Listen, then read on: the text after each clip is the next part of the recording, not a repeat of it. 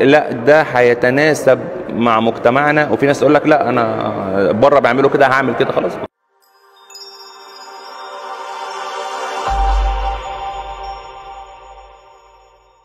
منور الدنيا يا عالمي وإيه اللوك الجامد ده؟ يا عم والله إحنا على باب الله يعني على باب الله والله. عم الله خالص. على الله خالص. وانت ما شاء الله عامل شغل حلو قوي و... ودايما عامل حاجات جديدة وترندات حلوة ودايما كده صحفي غلس حلو. الصحفي الغلس الحلو ده عارف اللي هو الغلس آه اللي هو اللي ينرفز الواحد يطلع منه حاجات حلوة. حبيبي يا تستاهل كل خير. نفسك النهارده ولا خلينا؟ طيب. لا لا لا والله أنا معاك أنا معاك خالص أنا معاك خالص. طيب مبدئيا ال- اللوك كده عامل لك أي قلق؟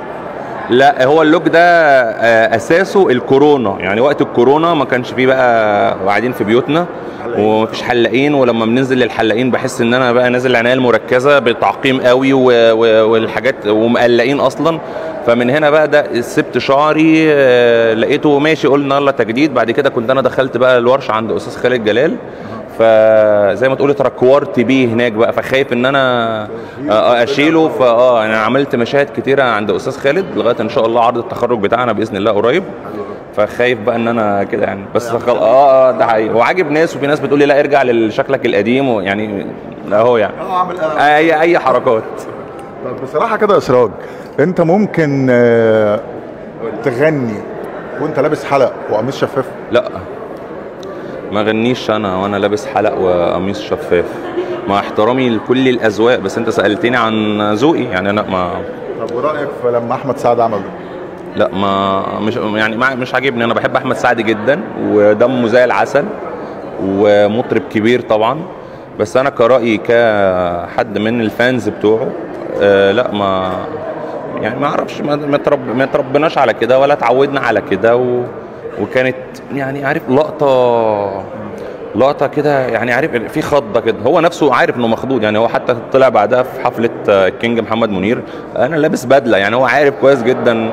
بس ففي ناس بتبقى ماشية سايبة دماغها ممكن لل stylist اللي معاها في ناس في فنانين بتسيب دماغها للموضة عامة. عادي خلاص دي موضة. وفي ناس تقول لك لا ده هيتناسب مع مجتمعنا وفي ناس تقول لك لا أنا بره بيعملوا كده هعمل كده خلاص كل واحد حر وأنا برضه حر أقول رأيي. يعني بصراحة كده ممكن تبقى تلبيسة لأي فنان يخسر فيها كتير؟ حركة زي دي؟ آه، أعتقد لأن إحنا إحنا أصلا شعبنا آه، شعب آه، بينقد بسهولة بينقد بسرعة تمام؟ بس بالتالي ما بنوصلش لمرحلة نقفل يعني مش مثلا مش هبطل أسمع أحمد سعد علشان لبس كده. فاهم؟ آه هو أنا بقول آه مش عاجبني. وهو أكيد واصل للفنان انه مش عاجبني. بس أنا عادي أحب أحمد سعد وأسمع أغانيك. يعني يوم ما الاقي ليك إن أنت مأفور مثلا في كل حفلة هتعمل كده؟ خلاص يا سيدي مش هتفرج على حفلاتك. بس هسمع لا مش هشوف حفلاتك مثلا لو أنا لبسك مثلا مضايقني في حاجة. فاهم؟ بس هسمع يعني هسمع أغانيك لكن مش هوصل لمرحلة إن أنا أقفل إن أنا أسمع أحمد سعد ولا وإزاي ده لابس حل لا يعني مش هأفور كده يعني. عادي شفت حاجة كده فعارف اللي هي دي؟ عارف اللي هي دي؟ هي دي كده خلاص. دي دي بس. بس عادي بعد كده خلاص. هنعمل إيه؟ هعمل إيه يعني؟ لسه كنت عامل حوار مع العسيلي بس قال إن هو شايف إن عمرو دياب أهم حد في مصر يمكن زي عبد الحليم وأم كلثوم يعني حتى أهم من منير أهم من كل دول. رأيك في ده إيه برضه؟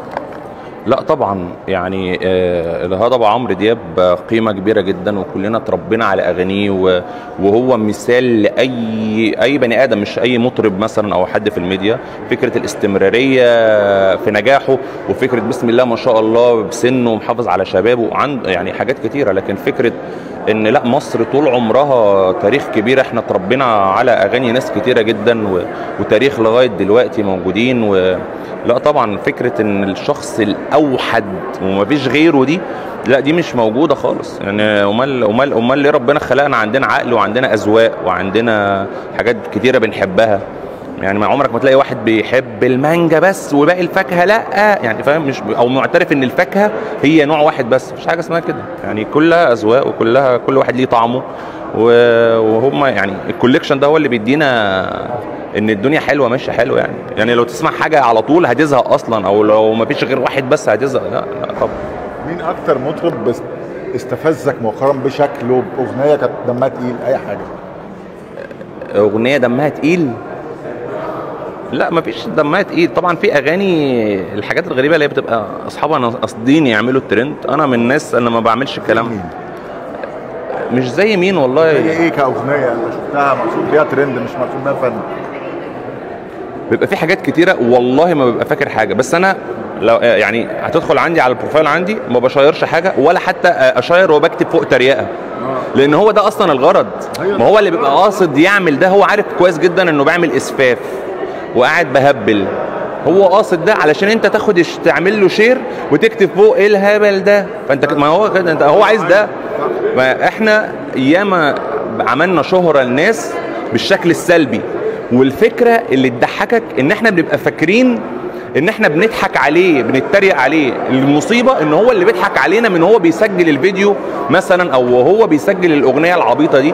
تمام؟ هو عارف من يلا هرمي أي جملتين وهبقى عارف إن الناس هتشتمني فيها وهتتريق عليا فيها وأنا هحقق اللي أنا عايزه. فهو بيبقى إحنا فاكرين إن الناس بتتريق عليه. تمام؟ وال- والحقيقة هو اللي بيشتغلنا هو اللي بيعمل اللي هو عايزه في الآخر. فما بعملش ده عندي ما بديلوش أنا الفرصة دي أصلا بقى. الشخص ايا كان مين هو اللي عايز يشتغلني أنا ولا بكتب عنه بالسلبي ولا بالإيجابي بس.